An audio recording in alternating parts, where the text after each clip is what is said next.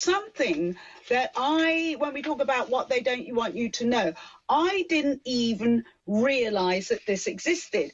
Um, the Investigatory Powers Act of 2016, the Snoopers Charter, uh, enables state bodies in the UK to handle and examine journalistic material unchecked. The new, there's a new safeguard now, which the previous government conceded was necessary during a legal challenge and was introduced by the Investigatory Powers Act 2024, will better protect communications between journalists and their sources. I didn't realize that up until, well, 14th of October, uh, bodies such as MI5 and MI6 could just kind of, what, swoop down and check out journalists without without us even knowing? I mean, what what is this snoopers charter thing? Yeah, well, uh, we've talked about journalistic freedoms, haven't we, on this show many times before? One of my most memorable uh, times appearing with you, Trisha, was when you had uh, Stella Assange, didn't you? Uh, giving it yes. that move, moving interview before uh, in her push uh, for a common sense release uh, of, of her husband. And while that case was nuanced, and while I don't think that he could, if somebody said that Julian Assange is simply a journalist, uh, when material that was unredacted and uh, uncurated was simply dumped uh, through the Wiki, uh, WikiLeaks uh, website.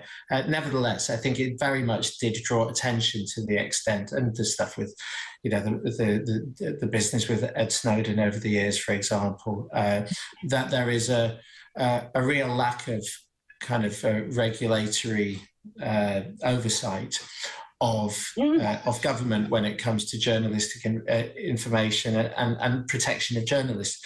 Uh, Liberty, who have brought this uh, action, uh, one part of which relates to the protection of sources that have been.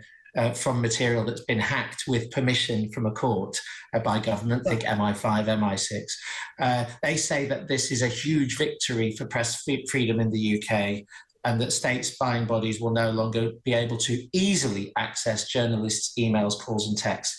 Okay, huge victory. Uh, I'm not quite so sure because they've got this other big action, which is about the whole of the Snoopers Charter and our right to privacy, which is still ongoing. And I don't think this was the the biggest part, really. And it's not the case that they won't be able to access journalistic sources. It's just that when they've obtained that information, when they recognize that it's that really confidential journalistic information, that probably it's a democratic imperative that that information and the journalist's ability to hold government to account is protected.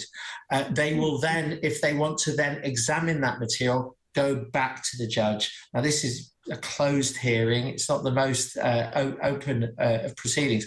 Uh, nevertheless, however, w- w- nevertheless, we end up in a situation where, yeah, they can't as easily access journalists' emails, calls, and texts. Uh, I don't think that this is it's a step in the right direction if that kind of press freedom and the ability for the press to do their to do their thing uh, without being interfered with by state authorities is concerned. If that's important to you, that's a step uh, in the right direction. But for, for others, this will simply not be enough. And I, I, I think that we are headed for uh, complex proceedings ahead of us between uh, between Liberty uh, and the government, uh, and also probably uh, more gains. I'm not saying that I think Liberty will win in, in all of its requirements because there's always a balance, isn't there, most citizens yeah. see the balance between the ability of the press to operate and all of that, and and and the need for government departments to be secret, and also the reason the need for us to be protected where there's possible information, for example, about terrorism.